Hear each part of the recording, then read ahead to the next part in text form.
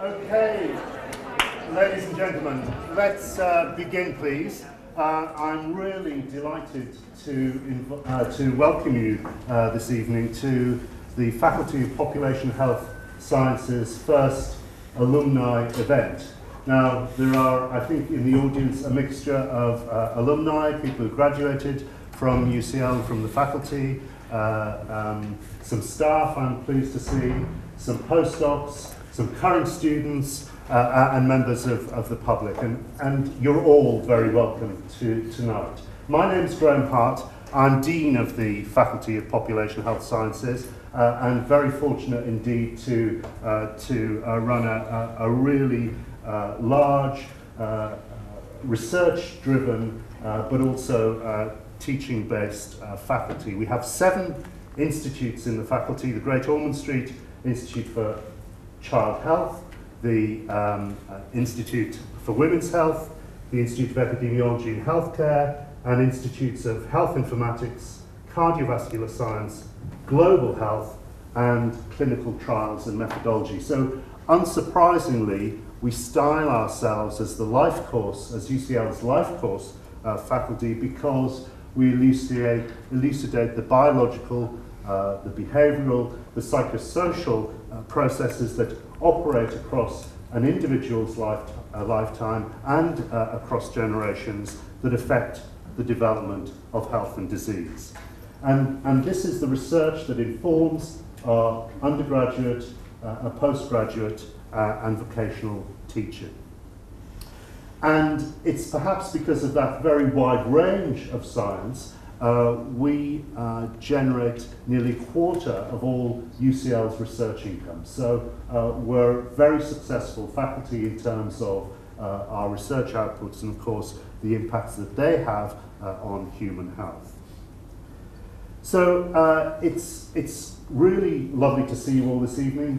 Very pleased that you've, you've come along this, this, this Friday. There's a further opportunity to actually uh, meet uh, together. Uh, we're going over to the pavilion on the other side of uh, Gower Street uh, for some drinks and, and canapes, and I hope that you'll join us for, for that. Um, but the main point of this evening is uh, to hear from uh, Dr. Xand uh, van Tulleken, uh, who's uh, very kindly, in a sense, come back to the faculty, having been a, a teacher and lecturer in the Institute of, of Global Health on humanitarian issues. Um, but many of you will know Xand uh, from his um, subsequent uh, very successful career uh, as a as a TV star. Uh, Ouch Operation, Right. I believe, is the Right. is the is the uh, children's show. Operation Ouch. No, that's, that's, good, that's good. It was only today I learned it. I BBC to see to see this. So Operation Ouch, uh, but also uh, popular science programs, Horizon. Uh, he's got a, a new book out on how to lose weight well. I should read this. Um, an accompanying Channel 4 series. Uh, it's, you know, this is uh, Renaissance man, I think. We're very fortunate uh, to, to have him uh, uh, uh, visiting this evening uh, and uh, talking about his work. But the work that he's going to be talking about is actually um, uh, uh, another side of his whole life, which is uh, working in humanitarian uh, uh, uh, uh,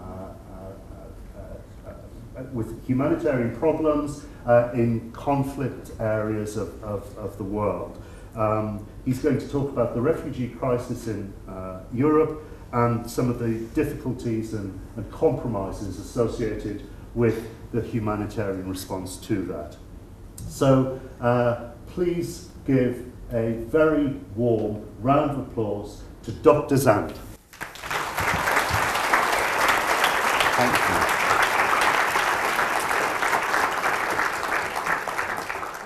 Thank you, thank you very much. Um, I feel like George Osborne has sort of ruined the idea of a Renaissance man for everybody.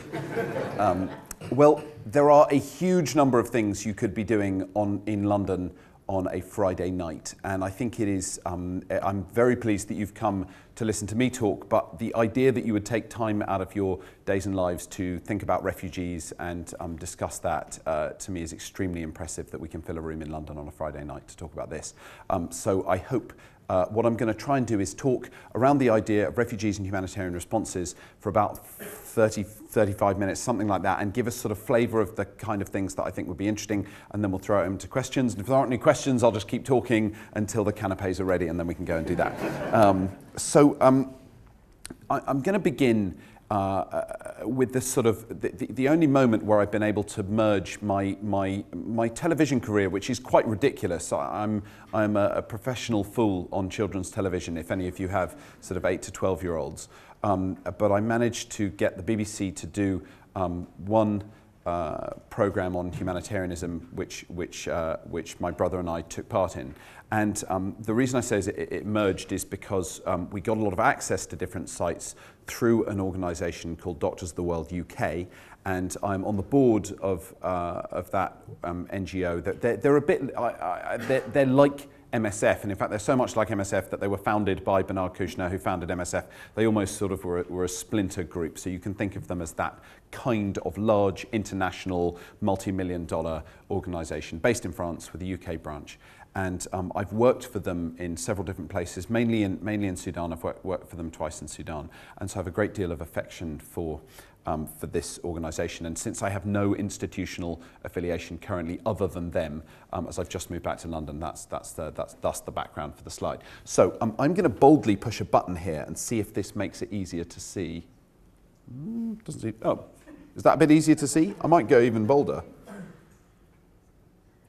That, yeah, that is, that is better, isn't it? In January last year, uh, we travelled to Lesbos. I say we, my brother and I and a, and a film crew travelled to Lesbos to try and get a sense of what was happening, um, where people were coming from, what the experience was like of crossing the ocean from Turkey to Greece, and then what their journey was. And so we met refugees, um, migrants in Lesbos and then travelled not with particular ones but made parts of the journey and met people arriving at each stage through Europe um, in Greece and then in Serbia, then in Germany and then finally in France.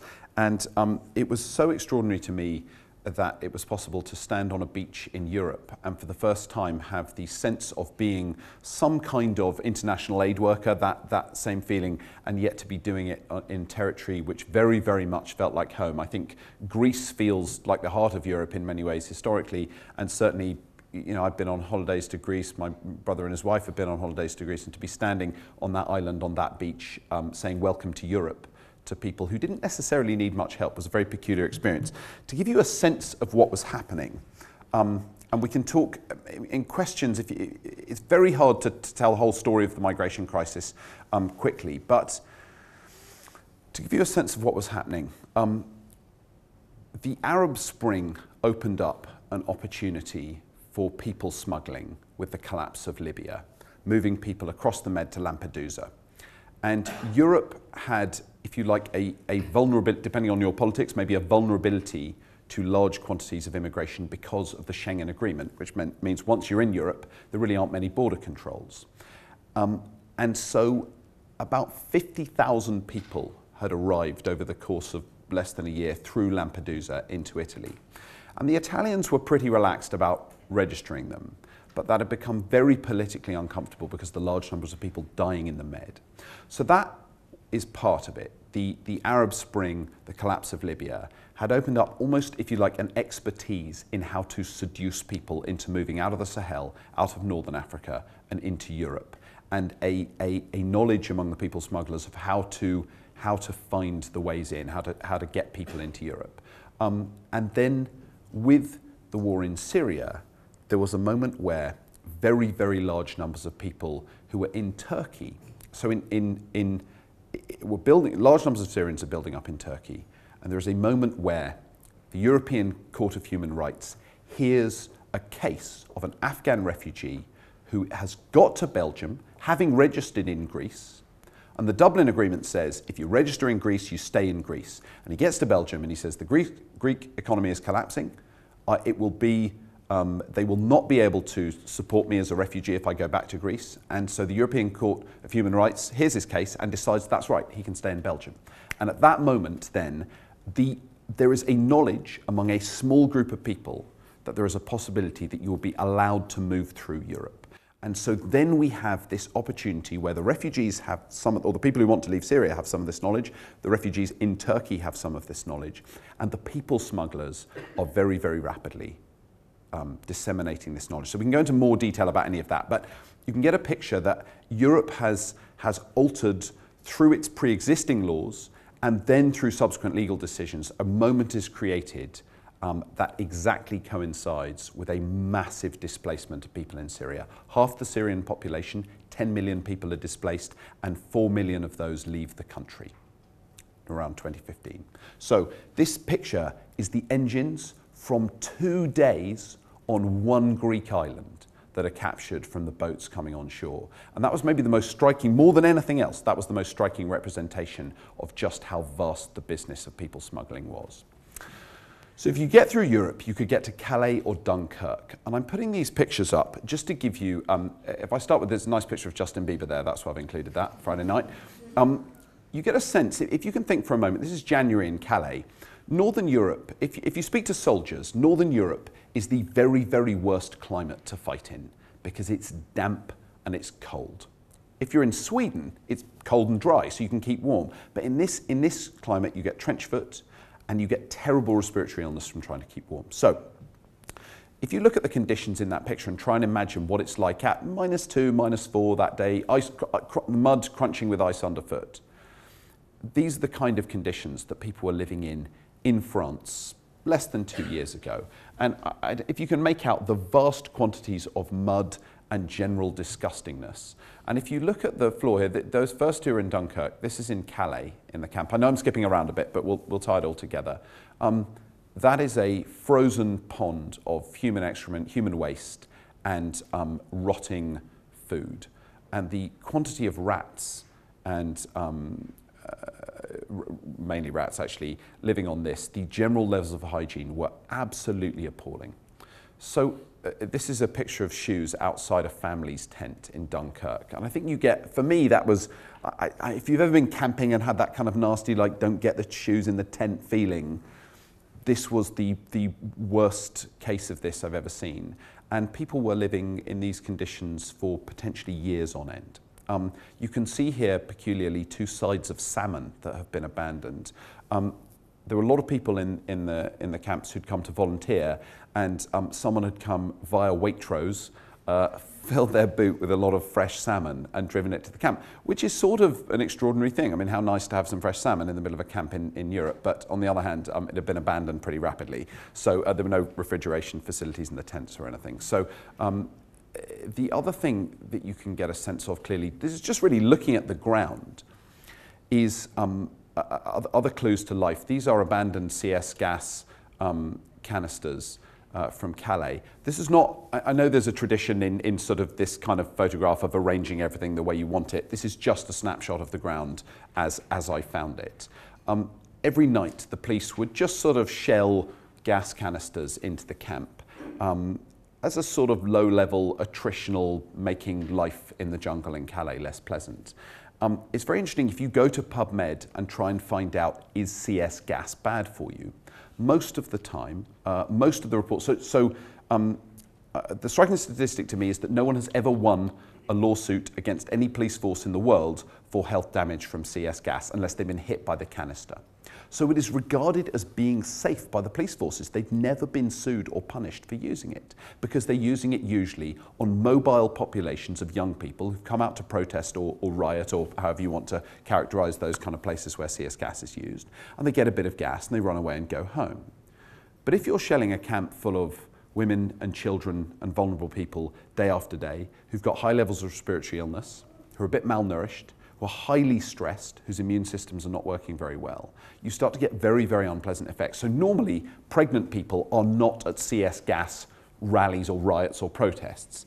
Um, but the, uh, both those camps had lots of pregnant people in them and lots of young children um, and lots of elderly people. And so populations that are not typically CS gassed at all were being gassed on a daily basis. We have no um, knowledge of the public health consequences of that, but we could imagine. Has anyone here been CS gassed? It's, it's horrible, right? I mean, I was appalled. I, I was amazed that we think this stuff is safe. Um, it's like chemical warfare. I mean, it was really, really brutal. And so it was very, it was very frightening and unpleasant when it happens, and um, it probably is not doing you any good if you're pregnant. It doesn't feel like it is. Uh, dead rats all over the place as well. So a level of kind of disgustingness and appallingness in northern modern Europe, in a good, you know, in France, not in Greece, you know, uh, with, a, with, a, with a, a, decent economy that could afford to do better. And this is the MDM clinic. Um, we can roughly, roughly translate the, you know, the, the politics of illness, um, stopping the politics of illness. So we have moments in migration where people are rendered extremely vulnerable because of the journeys they've been forced to take or have decided to take. And that is what drives the logic of modern humanitarianism. And so I wanted to um, go back just step back a bit and kind of think about how we have arrived at the humanitarian practices that we typically see. Um, this is a picture of a Red Cross vehicle. The Red Cross are really the original humanitarian organizations. The, in, in 1845, Henri Dunant witnesses the Battle of Solferino, sees all the suffering and says, wouldn't it be great if there was an organization that would take care if you were injured, no matter which side you were fighting for? And he sees the nuns looking after them. It should be a, a, neutral organization and the Red Cross is founded. And today, um, they are still, they, they run, they operate about $2 billion a year, um, doing a, a, variety of different things. But they are kind of the original humanitarian organization because of their very, very strict adherence to neutrality, that they do not speak out. They will condemn abuses, but they do it in private, behind closed doors. They do a lot of backroom diplomacy, but they are not in the business of publicly speaking out, unlike, say, an MSF or another kind of NGO. So this is a kind of exact um, destruction of the humanitarian idea. The shell has just landed rather perfectly. The logic of responding to crises in neutral apolitical ways, which I would imagine lots of people in the room have either, has anyone worked for a humanitarian organisation or done that kind, engaged in, in some way with those kind of ideas? So you have, um, we, we have a modern logic, certainly among my undergraduates, they wanted to save the world and they want to save the world as part of a neutral humanitarian organisation going and helping people on the basis of need. But this is not always the case. So we've got pictures here of, of um, Hemingway, uh, Byron, Auden and, and, and Orwell, um, all of whom employed a different logic in their attempts to save the world. Hemingway, going and fighting in the Spanish Civil War, the best bathroom selfie ever. If, if Tinder had existed, that would have been his picture on it. Um, Hemingway uh, spent most of the war in bed with Martha Gellhorn. I don't think he actually did anything very valuable in terms of fighting, but he picked up a gun and went to fight the fascists. Um, Auden, it's always nice to put a picture of Auden up because he has this totally destroyed face. He said, um, that his face looked like it had been uh, a wedding cake that had been left in the rain. Um, Hannah Arendt, uh, the, the sort of philosopher of totalitarianism and, and, of, and of evil, um, talks about how his face makes manifold life's invisible, manifest life's invisible furies. Um, Philip Larkin said, oh, no, it was David Hockney said of, of, of Auden's face, um, if that's his face, imagine what his scrotum looks like.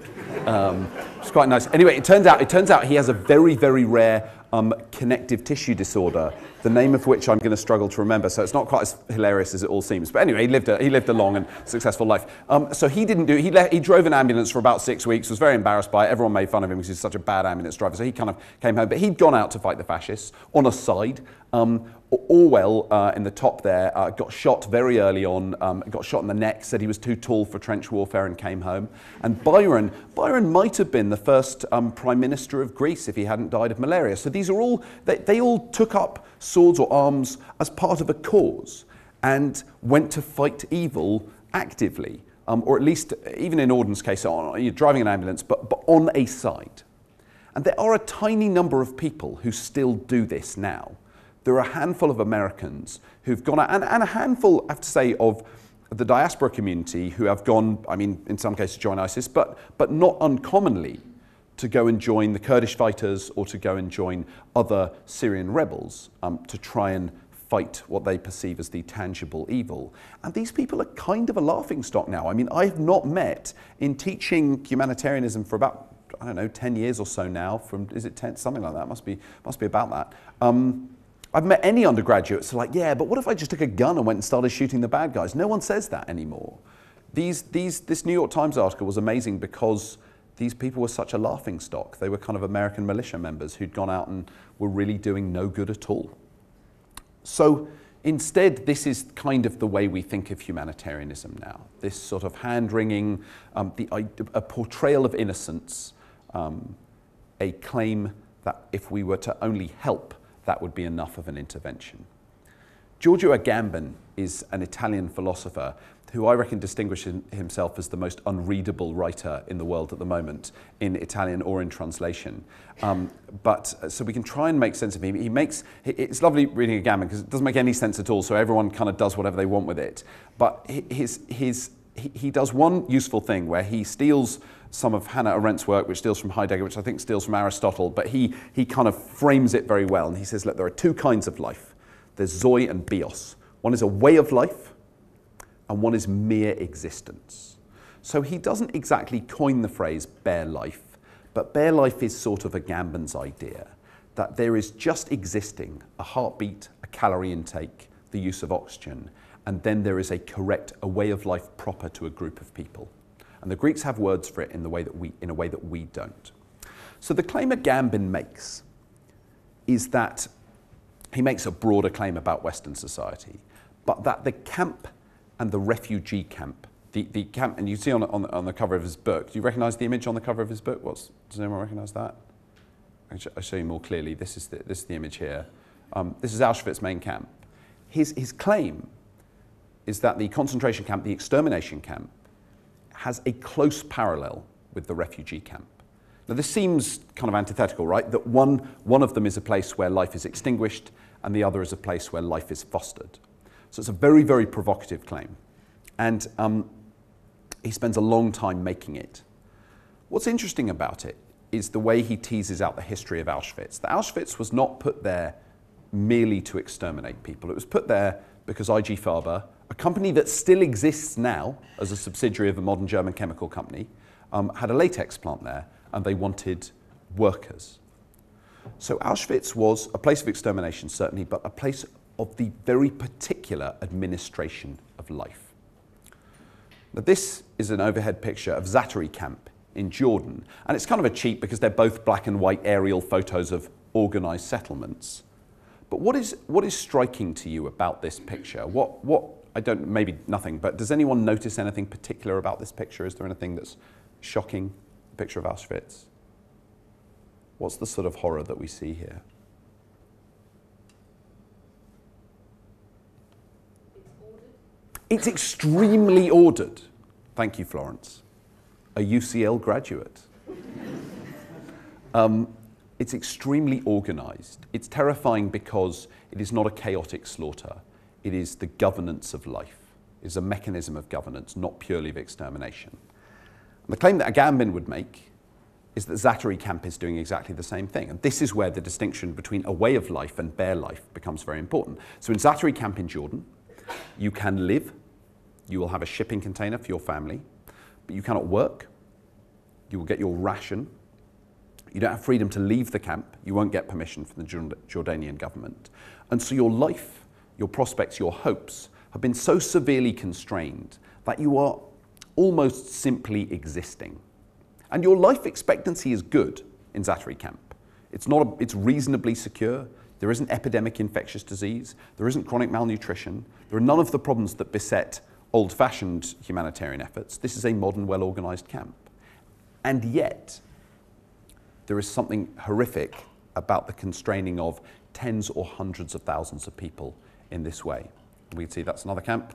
Um, and we can see that, there you go. So you get an idea of the ordered, you know, calm, peaceful, but utterly constrained life. There is no way of life in Zaatari camp. Uh, we'll come back to these pictures actually.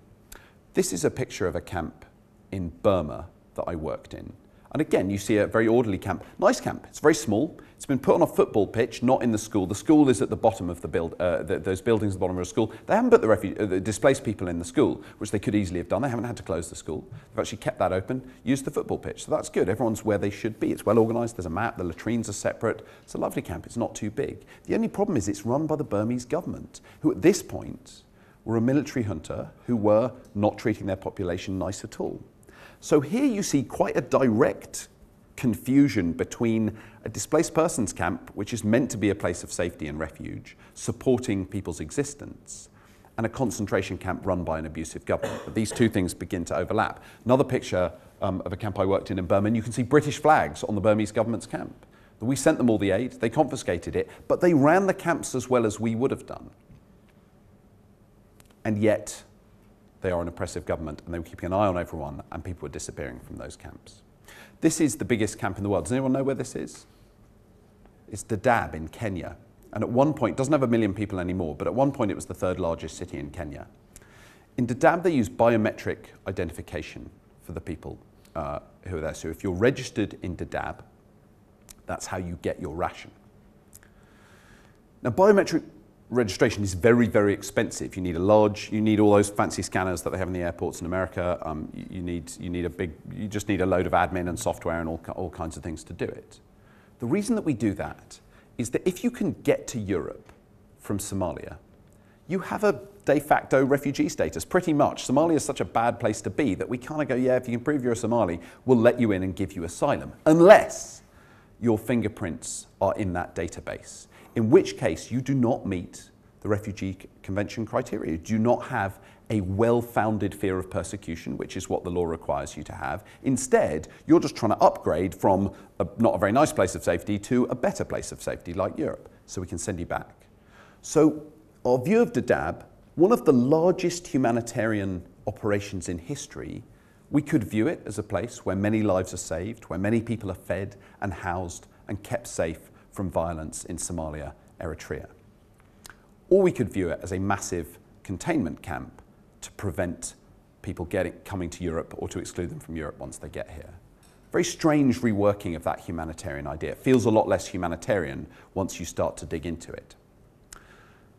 So all those pictures I showed you at the beginning of the camp in Calais have a very weird element to it because those conditions were appalling. And when we went to look, um, if, you, if you remember how disgusting they were, these people living in tents, in filth, in freezing conditions. I, I, we, we interviewed, for the documentary we were making, we interviewed a guy who had a PhD in public health from Cambridge, and he was working at Cambridge as a postdoc, and he left his postdoc to come and um, uh, work in the camp.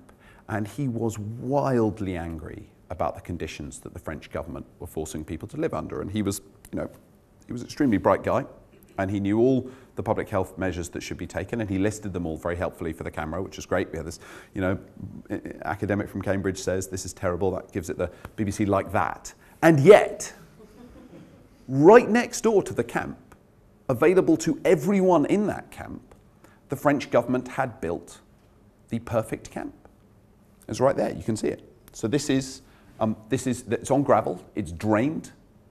There are clean latrines heated shipping containers with electricity, a fence around it for security, loads and loads and loads of kids being trafficked out of those camps, lots of women being abducted. I mean, really horrible stuff going on.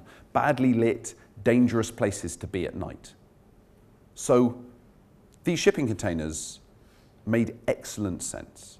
And all you needed was to give your fingerprints up, which you were assured, you, you, I, I believe the French people who told us, but I'm not sure the refugees did, that they would not be put into a central database. It was just a fingerprint to unlock the door. You didn't have to give a name, you didn't have to show any ID. You just had to register with something, with a fingerprint and some kind of name, just to say um, that who you were. And then you got your shipping container and your family could move in there, the prioritised families, and then you'd be safe and warm and you wouldn't be abducted or trafficked out of there and um, you wouldn't get horrible infectious disease and there weren't rats running everywhere and so on.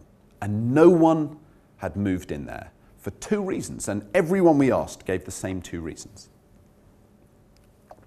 The first was the opportunity to get to the UK. It's really hard now to get to the UK from Calais. There are still people trying, but the method is that you have to get on a truck. And has anyone been to Calais recently? I mean, just for miles out of town, the motorways are surrounded by 20 foot high white fences, spotlights, and barbed wire. I mean, it, it, is, it is like, I don't know, what, some terrible dystopian movie. It's very peculiar. And you see globalization pouring past on the highway and people living, living next to the highway. I've got, I'll show you some pictures in a minute. Um, so if you want to get on a truck, you've got to walk or get a taxi or get a bus, depending on what you can afford, miles out of Calais to a place where you can get to a truck stop. You then have to either get on a truck that's going in the right direction. You have to figure out it's going to England because it's got the steering wheel on the right side. It's got British license plate. But it might be going. Might, you might get in the truck and wake up in Germany. In which case you'll have to get a bus back to France. You still do it. You're still in Schengen. You can do it, but it's all money. It's all headache and it's all time. So from the moment you leave your your tent in Calais or, or, or Dunkirk the moment you get back to it from an attempt to get into the UK, you've probably been a couple 50, 50 60 miles um, in a truck, tens of miles on foot. You might have been arrested and beaten up by the police. You might have had to go to hospital. You might have ended up in another country. All so it can easily take a week to do an attempt. It certainly take more than 48 hours. 48 hours, you lose your shipping container. So the French, and not unreasonably, the French said, why would we pay for a shipping container for you when you're not going to use it? You're off just trying to get out of France be in France and we'll let you have a shipping container. And the other reason was that you couldn't cook in the shipping containers. They didn't want, um, they didn't want fires. And everyone wanted to eat their own food. There are nine or ten different nationalities represented in that camp do- predominantly. So Syrians mostly, Iraqis, Iranians, Afghanis, um, Sudanese. I'm not going to be able to do it. Lebanese, uh, Afghanis, but I, I probably won't get to nine. But anyway, there are a decent, decent number of different nationalities. Everyone wanted to eat their own food. So you can see this extraordinary choice between Zoi and bios. Zoi being existence and bios being that way of life, those two Greek words, bare life and a way of life. And everyone chose a way of life, which is terrifying if you work in public health, you work in the health sciences, that actually people choose hope and opportunity over moment to moment safety and security. It, it, it, when you were there, it felt like almost everyone and the only people who weren't, who weren't doing that were people who, who ha- were in genuine danger of being beaten up immediately in the near future. So you get this very, very stark contrast. Um, I'll leave you. This is this is the um, this is one of the pictures. This is everyone being CS gassed in the evening. Um, the French police lined up along this. Uh, I don't know if you can see the. Have I got a laser? Maybe I don't have a laser. Anyway, you can see the fence in the background. That road going to the port and the detritus of the camp uh, in the foreground. Everyone um, kind of huddled around the campfire at night. So I'll, I'll, show you a couple more. I'll just show you a couple more pictures um, from the from the journey. This very strange journey. People got off these boats in Greece, and they're not they're not they're in Europe, but they're nowhere near where they want to be, which is Germany, or Sweden, or the UK. Um, and these very peculiar interactions, once you're in Europe, you, you, it's easier to be culturally sensitive when you're overseas, but in Europe, you're not quite sure what to do. So people have brought loads of toys. So I handed this little girl who'd had terrible hypothermia, she was unconscious when she came in, she perked up, she's so cute.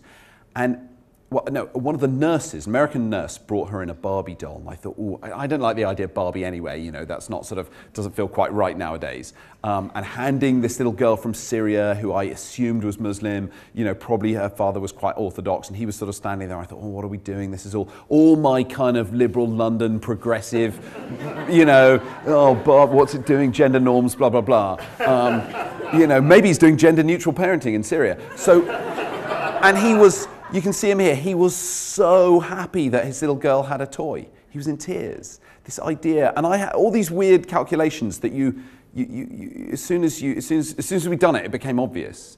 His little girl didn't have any property in the world, and neither did he. That this Barbie doll was the, the best thing that had happened to them that day for sure. He'd almost lost her. This is a, a, a man, um, uh, just, just one more example. Um, uh, this is a, a, guy called Kasai, and Kasai has osteogenesis imperfecta. I don't know if anyone knows anyone with osteogenesis imperfecta, but he had a version that was very severe.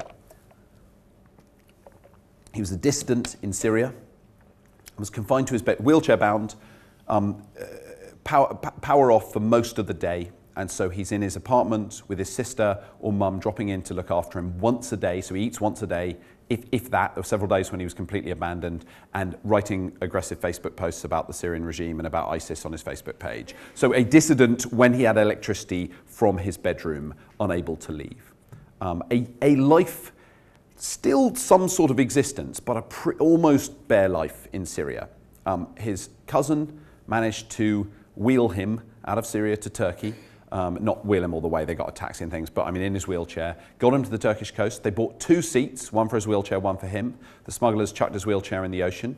In the bottom of those boats, there is about a metre of water. The bottom sags out. They're not good rafts at all. So um, he sunk up to his neck. And this is a guy, you can see his chest anatomy is deformed. He, he is not well. Um, barely able to breathe, freezing cold for about six hours in the, um, in the Med, in, or in the Aegean in, in, um, in winter. Um, he broke radius and ulna bilaterally, humerus bilaterally, both femurs, um, tib and fib bilaterally. So broken arms, broken legs, uh, nine broken ribs, cracked spine, cracked skull by the time he got off the boat with everyone jostling and everyone panicking. Um, MSF had got him into a hospital. And uh, at this point, he was, in, he was in Athens when I met him. And he is now in Holland, where he is a senior person in the major Dutch osteogenesis imperfecta society. And his job is translating medical journals from Arabic to English and vice versa. So he has gone from being an incapacitated person to a productive tax-paying member of the Dutch of, of, of, of, the Dutch economy, regardless of our ethical obligations. That seems to me to be a, a remarkable story of, of possibly why we should be uh, friendly to refugees. An extremely human tale, and I'd like to thank you very much for coming to UCL and telling it. Thank you very much. Thank you so much for having me. Thank you.